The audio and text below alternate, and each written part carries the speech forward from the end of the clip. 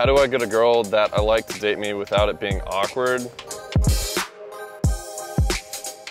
Uh, what was the feeling catching the final out of the World Series for King Tuck? It was the best. I mean, you just won a World Series the whole way. That's all you're thinking about, and you got to make sure you catch the ball first. What's your favorite Astros uniform, including past uniforms? I like our white home run home ones. I, I just think they're clean. And how do I get a girl that I like to date me without it being awkward? Probably just act normal and treat her just like any other person. Just be nice and ask her out. Do you have any secret or hidden talents? I can't really juggle. Oh, I guess I can say I'm good at soccer. I'm gonna try out for the World Cup one day, hopefully. Be on the USA team, and bring it home, so